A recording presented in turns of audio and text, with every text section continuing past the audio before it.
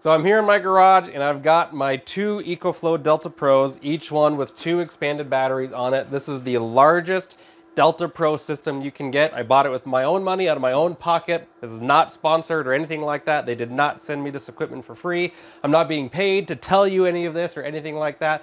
This is just my honest, true personal opinion and I like it. I like the system a lot and I am running my entire house off of just these two Delta Pros right here. And I'm just gonna do a test to see how long I can run my house nonstop. I'm not gonna change anything about our habits. We're not gonna go into emergency power mode. We're gonna still run the water and do our laundry and cook things and do everything like normal.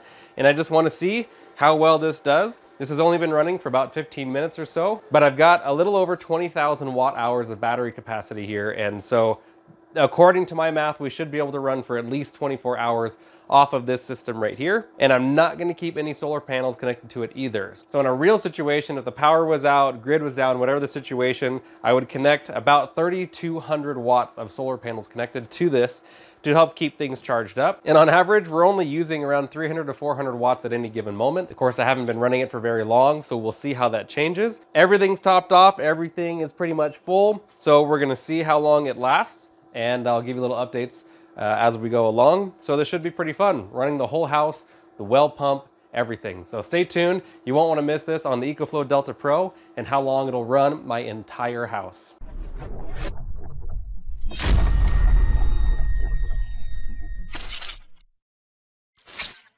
This is probably the biggest thing that I love is the fact that I have easy running water. Now this is well water, but we like to drink Berkey water so we filter even our well water for everything that we drink.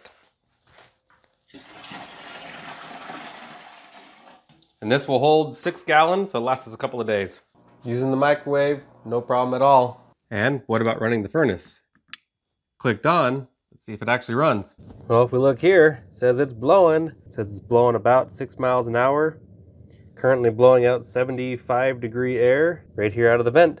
In our house, we actually have two sets of washer and dryer, two towers here. So we got two washers down below, two dryers up above. And the one here on the left is powered by propane, so it's 120 volt and it's heated with propane.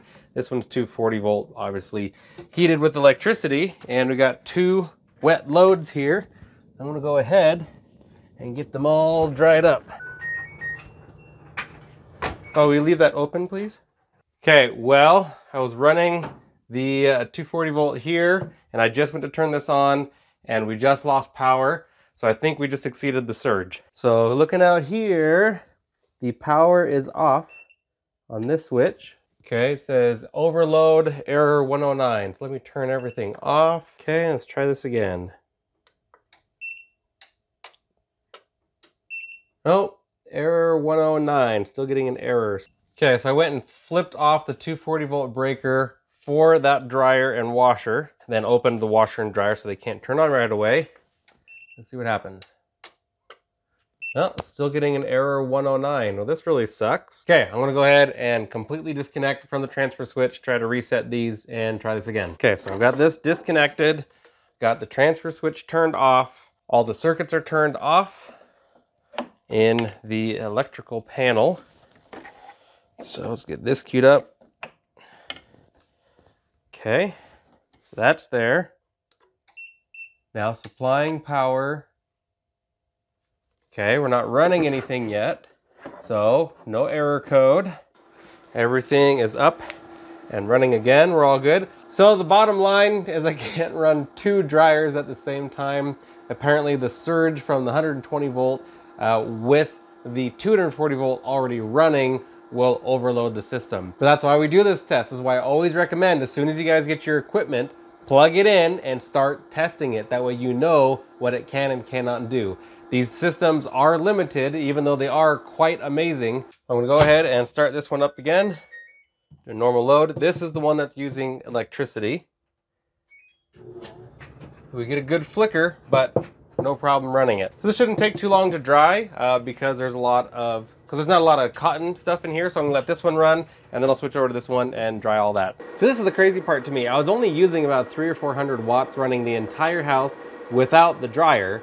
Now I'm running the dryer and it says 2900 watts here and about 2900 watts here. So we're basically getting 5,800 watts to run that dryer. Uh, I'm not running the furnace anymore or anything like that. Just whatever vampire loads there are, as well as the TV, Wi-Fi, stuff like that.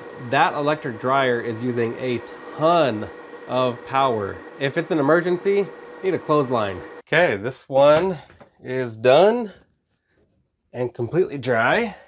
So we're gonna go ahead and get this one started. Okay, it didn't flicker as bad that time. Let's see how much power it's drawing. So on this one it says about 330 and this one's about four, we'll call it 500. So about 830 watts. So 5,000 watts less than the electric one. So uh, definitely won't be a problem running that one. We, we used about 8% just running the dryer uh, that's 240 volts, so quite a lot of power there. And that was a really light load, and so a heavier load would probably use a lot more.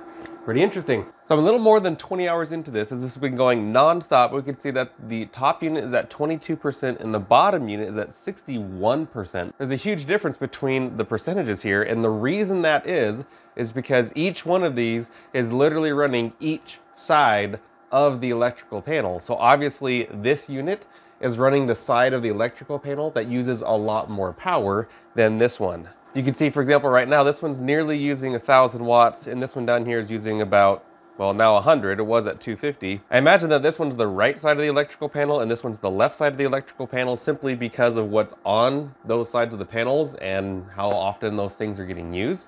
Uh, on the right side of the electrical panel it runs a sub panel that runs basically all of the downstairs. And since we have people down there as well, it makes sense that this is using more power because that's running more rooms and outlets and such. So in order to make this even, this is pretty simple. I'm gonna turn off the power here, okay?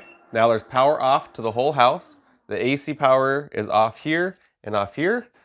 And I'm going to unplug it right here and right here and just swap it. Okay, so now that one's in